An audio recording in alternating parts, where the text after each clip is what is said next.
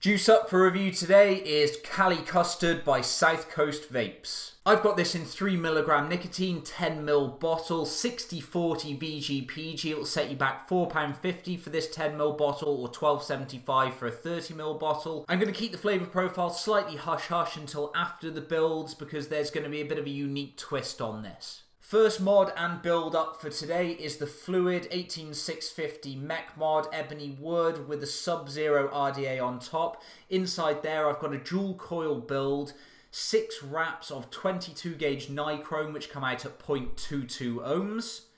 And the other mod that we're going to be using today is the SOAS DNA 30 mod with a Snapdragon version 1.5 on top. There's a single coil build in here, 8 wraps of 26 gauge Kanthal which comes out at 1.4 ohms. Going to be vaping it around 17 watts.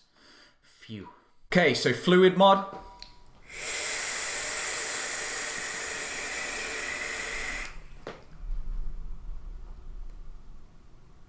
And the SOAS mod.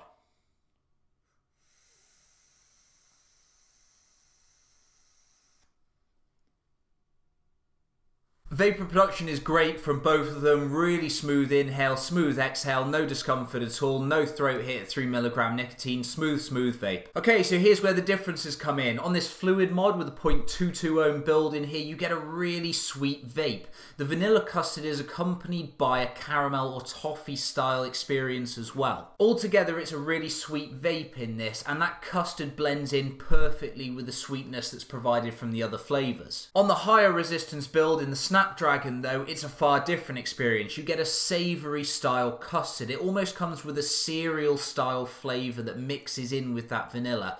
It still has a sweet tone to it, but predominantly it's replaced by a more balanced savoury taste. So this is where it gets subjective. If you like the sound of that sweet vanilla custard mixing in with toffee and caramel, you need to put this on a build that comes in at about 0.5 ohms or less. That's where I find the sweet spot for bringing in the caramel and the toffee. If you prefer the sound of the savoury style custard with that cereal mix and still getting some of the sweet notes in from the vanilla, you need to put it onto a build that's 1.2 ohms or higher. That's where I find the sweet spot for that one. And of course, it's going to come back to you and what you want from your vape. But the fact that you have the ability to change without purchasing a new bottle of juice is a big bonus. As always, guys, if you could like, follow, and subscribe, that would be greatly appreciated. I will see you again very soon.